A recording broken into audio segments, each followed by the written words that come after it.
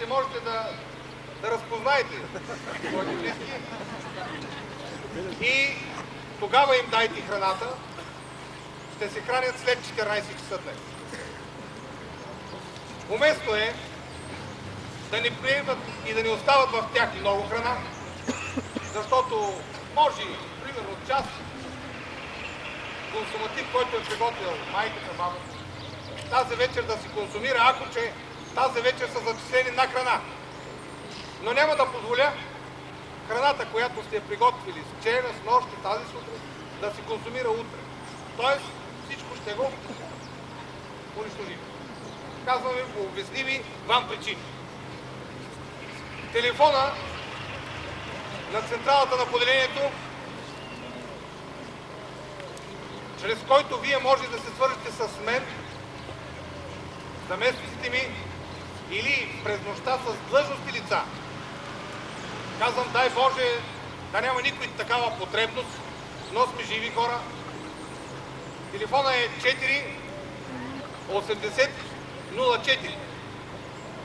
До 17 часа през тази централа вие може да вземете командира, респективно началника на учебния център, да се позаинтересувате или да предявите някакво искане при наличие на житейска необходимост, а след 17 часа директно кореспондирате с отговорния дежурен офицер в поделението и тогава, когато има някаква, дай Боже, да нямате такава житейска потребност, ние сме в състояние да откликнем. Ще проведе тук, в района на поделението, западно от мен, където виждате тези автомобили на съответния плат, от 10.00 часа на 10 май, ден петък.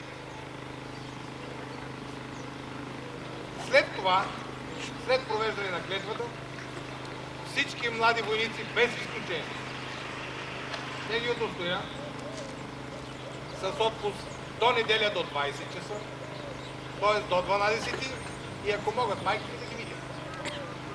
Защото ще си обуят дънките. човека дал отпуск още не се воинска дисциплина. Тоест, проблеми по никакъв начин ние няма да имаме. Благоприятно е приема на този набор, защото набор 77, втора смяна, постъпи в началото на месец януари.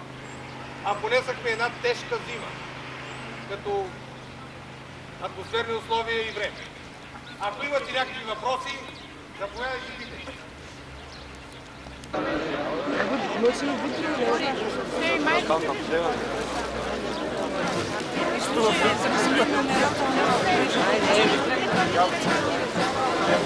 Кажете,